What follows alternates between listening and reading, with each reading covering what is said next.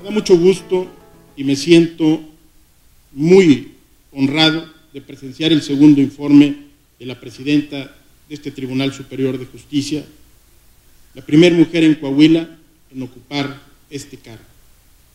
El informe que acabamos de escuchar es el mejor ejemplo de que la coordinación de los tres poderes con la sociedad es la única forma de alcanzar el Estado de Derecho democrático y de respeto a los derechos humanos que queremos las y los coahuilenses. El sistema de justicia penal acusatorio y oral, instrumentado en todo el territorio de la entidad, marcó una nueva etapa en la impartición de justicia en Coahuila. Este logro significó un gran esfuerzo tanto para el Poder Judicial como para el Legislativo y el Ejecutivo. Lo más importante es que en Coahuila vivimos cambios de paradigmas en los procesos de impartición de justicia. Mi reconocimiento igualmente al Tribunal Superior por todas las acciones que hacen patente su compromiso de ubicar a Coahuila a la vanguardia en materia de transparencia y trabajo institucional eficiente. Sin pretender ser reiterativo, subrayo los reconocimientos y las cifras que hoy lo confirmaron. El sexto lugar nacional que tiene Coahuila en el índice de calidad de los procesos judiciales y el séptimo de, cumplimiento de contratos de acuerdo al informe de Don Business en México en 2016. El dinamismo del Poder Judicial en el Estado se confirma también con la transmisión semanal de su primer programa en Radio Coahuila. No cabe duda que tener un buen sistema de justicia mercantil es una gran fortaleza para el desarrollo y crecimiento económico porque brinda seguridad a los ciudadanos y confianza a inversionistas y empresarios. La sociedad de nuestro Estado está conformada por mujeres y hombres de bien, de trabajo y lucha diaria que celebran los éxitos de la justicia. Con el pleno respeto a los poderes del Estado, pero mediante una cooperación efectiva, compartimos grandes retos por un Coahuila más justo e igualitario.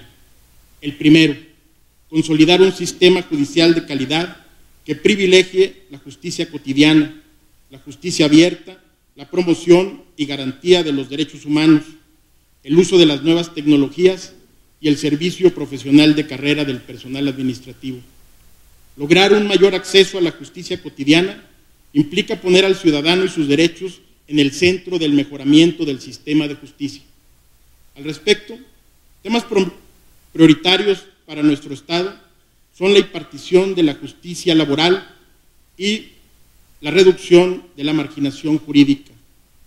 En ese sentido, en mi gobierno impulsaremos nuevas disposiciones legales acordes a nuestra sociedad actual regida por la comunicación electrónica, la informática, el Internet y los medios tecnológicos. El segundo desafío es lograr que la justicia en Coahuila se imparta con perspectiva de género. Los cinco centros de justicia y empoderamiento para las mujeres en Torreón, Matamoros, Frontera, Acuña y en esta ciudad capital constituyen la estrategia del Estado para, erradicar la violencia contra las mujeres y otorgarles, en casos de denuncia, todo el apoyo necesario que asegure su integridad física y psicológica. El tercer tema, la implementación de los juicios orales en materia mercantil de acuerdo a la reforma federal y la instrumentación de la justicia laboral derivada de la reforma constitucional del 24 de febrero de 2017.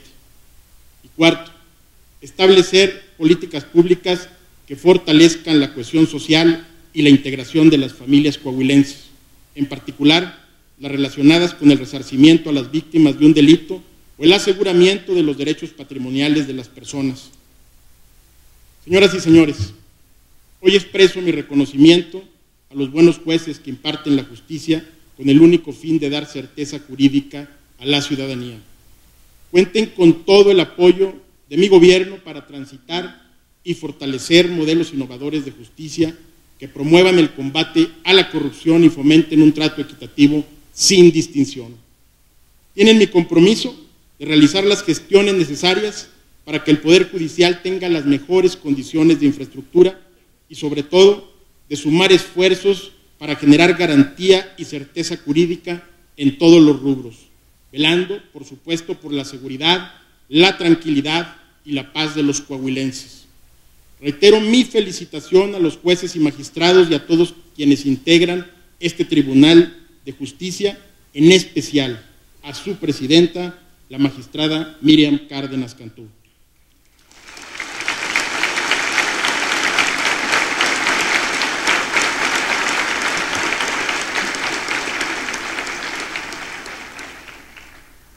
Señora magistrada, tomé nota de todas las necesidades del Poder Judicial. Cuente con mi gobierno para enfrentar los retos y que puedan tener las herramientas necesarias para la impartición de justicia.